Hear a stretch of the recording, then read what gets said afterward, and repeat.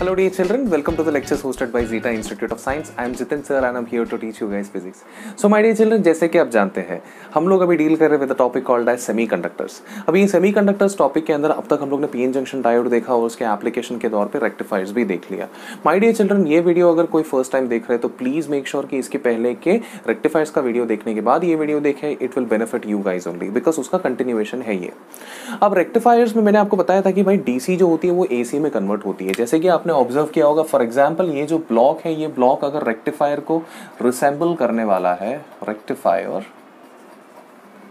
तो उसमें जैसे कि आप जानते हैं, हमने अगर एसी इनपुट दे दिया okay the input is AC then जो आउटपुट हमें मिलेगा ओके? okay? वो आउटपुट क्या होता है? डीसी होता है। इसको हम लोग डीसी बुलाते ज़रूर है, लेकिन वो डीसी जो होती है वो प्रॉपर डीसी नहीं होती है। जैसे कि आपको पता है, वो पोलैरिटी रिवर्स नहीं करता, लेकिन बाकी चीज़ों में ना उसका आउटपुट है ना कांस्टेंट नहीं होता। उसको कांस्टेंट बनाना पड़ता है। कैसे बनाते हैं, मैं आपको बताता हूँ। अभी जो इनपुट देते हैं, आपको अगर याद होगा तो इनपुट कुछ इस तरह देते हैं हम, okay? So this is the way we give input ऐसे ऊपर नीचे। तो उसका करस्पॉन्डिंग आउटपुट जब आता है ना बाहर तो आउटपुट कुछ इस तरह आता है। ऊपर देन ऊपर। मतलब एंड सो वन ऐसा ऊपर की तरफ़ चलता रहता है। सो नेगेटिव पोलैरिटी ज़रूर अवॉइड होती है बट उसके अलावा बाकी चीज़ें अवॉइड नहीं होती है। सो ऊपर ऊपर करके जाता है। तो ये एक प्रॉब्लम है। तो इस चीज़ को कैसे अवॉइड करेंगे? ध्यान से सुनना। इसके आगे हम लोग क्या लगाने वाले हैं? सबसे पहले लगाएँगे हम फ़िल्टर ओके फ़िल्टर का आउटपुट पता क्या होगा? फ़िल्टर के अंदर से जाएगा तो ये एकदम बाउंस जो हो रही है ना, वो थोड़ा कम हो जाएगा। फिर जो आउटपुट है हमारा, वो कुछ इस तरह दिखाई देगा। ऐसे। ऐसे थोड़ा थोड़ा सा डिस्टर्ब दिखाई देगा। अब बोलेंगे, लेकिन फिर भी सर थोड़ा डीसी जैसा नहीं लग रहा है मुझे। इसको कैसे हम लोग ये करेंगे? इसको कंट्रोल करने के लिए हम क्या करेंगे? हम इसको वोल्टेज रेगुलेटर के अंदर से पास करेंगे। तो ये जो डिस्टर्ब्ड वोल्टेज है, ये डिस्टर्ब्ड वोल्टेज फिर क्या हो जाएगा? फिर कांस्टेंट वोल्टेज के फॉर्मेट में बाहर निकलेगा, एकदम कांस्टेंट वोल्टेज के फॉर्मेट में।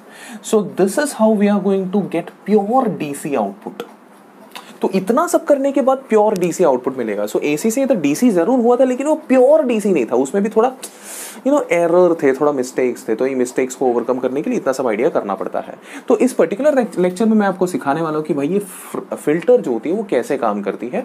और उसके अलावा ये जो डिस्टर्बेंसेस है, ये डिस्टर्बेंसेस को हम लोग कैसे यू नो इवेल्युएट करते हैं। वन बाय वन हम लोग सीखने वाले हैं। सो बिफोर गोइंग फर्दर मैं आपको एक चीज़ बताना चाहता हूँ। यहाँ पर ये जो आपने डिस्टर्बेंस देखा है, इस डिस्टर्बेंस को हम बुलाते हैं ripple factor so ripple factor करके कोई टर्मिनोलॉजी अगर आपके बुक के अंदर दिखाई दे तो बिल्कुल टेंशन मत लीजिए। रिपल फैक्टर बहुत ही सिंपल सा कॉन्सेप्ट है। It is nothing but the disturbance nothing else so DC में हम लोग क्या एक्सपेक्ट करते हैं? It's you know straight line DC में एक्सपेक्ट करते हैं। बट अगर स्ट्रेट लाइन नहीं मिल रहा है इसे डिस्टर्ब लाइन मिल रहा है तो that disturbance is called as ripple factor जितना ज़्यादा डिस्टर्बेंस उतना ही ज़्यादा रिपल फैक्टर तो इतना मैं बोल सकता हूँ कि भाई डिस्टर्बेंस कब ज़्यादा होगा? जब हमारा रेक्टिफायर प्रॉपरली मतलब रेक्टिफायर अगर 100 परसेंट इफ़ेक्टिव होता तो आउटपुट एकदम स्ट्रेट लाइन होता था बिकॉज़ आउटपुट डीसी मतलब स्ट्रेट लाइन होना चाहिए था। रेक्टिफायर का इफेक्टिवनेस जितना कम होगा, उतना डिस्टर्बेंसेस बढ़ता जाएगा। सो मैं ऐसे बोल सकता हूँ कि भाई रिपल फैक्टर अगर ज़्यादा है मतलब मेरा रेक्टिफायर उतना इफेक्टिवली काम नहीं किया। रिपल फैक्टर अगर कम है मतलब मेरा रेक्टिफायर कंपेरेटिवली ज़्यादा इफेक्टिवली काम किया।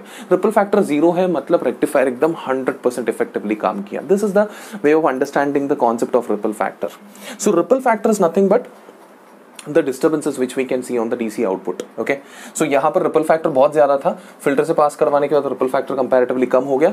वोल्टेज रेगुलेटर से पास होने के बाद सीधा का सीधा रिपल फैक्टर ज़ीरो हो गया। So this is how we are going to understand the concept of ripple factor anyway going forward in this particular lecture जैसे मैंने आपको बताया we are going to discuss more about what filter okay so let's proceed further before proceeding further I request you guys to please pause the video and make a note of it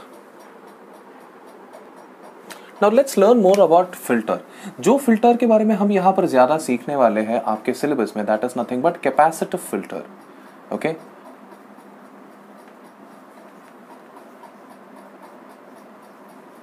अब ये जो capacitive filter ये दिखता कैसा है मैं आपको बताता हूँ। सो uh, so, जैसे कि आपने देखा कि हमने यहाँ पर एक ब्लॉक है ना रेक्टिफायर के लिए छोड़ दिया था सो दिस वाज रेक्टिफायर जिसपे मैंने इनपुट पर क्या दिया था भाई? एसी दिया था। और आउटपुट पे क्या हो रही है? मतलब हमें फ़िल्टर लगाना है यहाँ पर। तो this is the input uh, the output as you guys know the output is going to be like this. Okay? And over here what I am going to do सबसे पहले मैं काम करूँगा एक कैपेसिटर कनेक्ट करूँगा क्योंकि capacitor filter है। Capacitor का फ़ायदा मैं आपको बताता हूँ क्या होता है करके। और उसके आगे ऑब्वियसली एक लोड रेजिस्टेंस लगाऊँगा। लोड रेजिस्टेंस का कॉन्सेप्ट आपने इस पे भी देख लिया था अपना रेक्टिफायर में भी देख लिया था कि लोड रेजिस्टेंस क्यों लगाते हैं। लोड रेजिस्टेंस अक्सर हम लोग आउटपुट मेजर करने के लिए वोल्टेज अगर मेजर करना है तो कुछ ना कुछ तो रेजिस्टेंस के ऊपर वोल्टेज मेजर करना ज़्यादा कन्वीनियंट होता है इसलिए हम लोग लोड रेजिस्टेंस लगाते हैं। Okay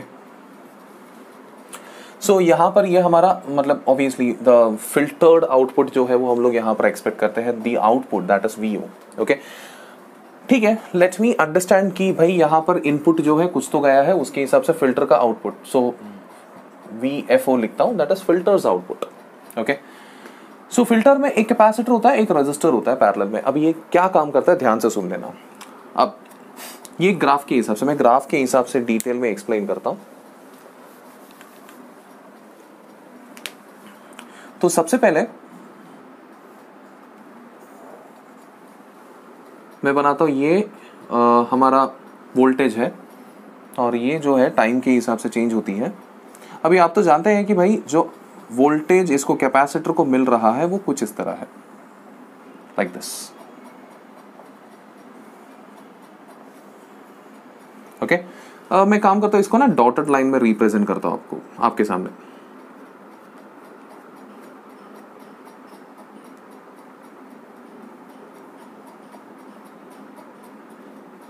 Like this.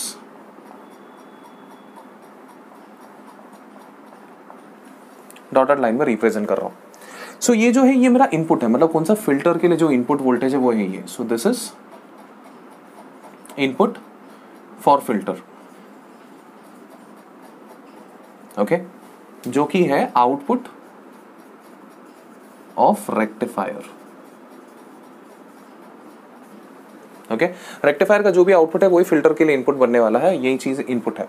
अब होता क्या? ध्यान से सुन रहा है। नहीं, ये वोल्टेज बढ़ता है स्टार्टिंग में। वोल्टेज जब इधर बढ़ता है तो कैपेसिटर क्या हो जाता है? चार्ज होता हो जाता है। वोल्टेज जब बढ़ता है पीक वैल्यू तक पहुँच जाएगा तो कैपेसिटर पे क्या हो जाता है? चार्ज होकर पीक वैल्यू तक उसके पहुँच जाता है। ओके चलो, यहाँ तक। मेरा कैपेसिटर भी चार्ज हो गया। अभी जो मैं डार्क लाइन से बनाने वाला हूँ कैपेसिटर का चार्ज है। कैपेसिटर भी ज़ीरो से लेकर पीक तक चार्ज हो गया। ओके उसके बाद क्या हो गया? जैसे कि आप देख सकते हैं डॉटेड लाइन नीचे की तरफ़ एकदम उतर गया, अचानक से ज़ीरो तक पहुँच गया। तो बेसिकली क्या हो रहा है रेक्टिफायर का जो आउटपुट है वो ज़ीरो तक पहुँच गया। मतलब कैपेसिटर को जो इनपुट दे रहे वो भी ज़ीरो तक पहुँच गया। जब कैपेसिटर पे वोल्टेज कम होती है तो capacitor will start discharging starting में कैपेसिटर का वोल्टेज बढ़ता है, इसका मतलब क्या होता है चार्ज इसके अंदर भरा जा रहा है। जब वोल्टेज कम होता है तो चार्ज डिस्चार्ज मतलब चार्ज मतलब उसके ऊपर का वोल्टेज कम कर दिया। तो बेसिकली क्या हो गया, उसके ऊपर का चार्ज है ना स्लोली स्लोली बाहर निकलना शुरू हो जाता है। तो कैपेसिटर का भी वोल्टेज कम होता है। बट प्रॉब्लम पता है क्या है? कैपेसिटर को डिस्चार्ज होने के लिए थोड़ा ज़्यादा टाइम लगता है लेकिन ये रेक्टिफायर जो है ना कंपैरेटिवली जल्दी ड्रॉप कर लेता है अपने आप को। सो so, इस वजह से पता क्या होता है? अब ध्यान से सुन लेना मैं क्या बोल रहा हूँ। इनिशियली रेक्टिफायर ने अपना वोल्टेज बढ़ाया तो कैपेसिटर का भी वोल्टेज बढ़ गया। ये हाथ कैपेसिटर के लिए, ये हाथ रेक्टिफायर के लिए। रेक्टिफायर का वोल्टेज जब बढ़ गया तो कैपेसिटर भी बढ़ गया। रेक्टिफायर अचानक से कम हो गया तो कैपेसिटर उतना स्पीड में कम नहीं हो पा रहा है। कैपेसिटर थोड़ा आराम से कम होता है।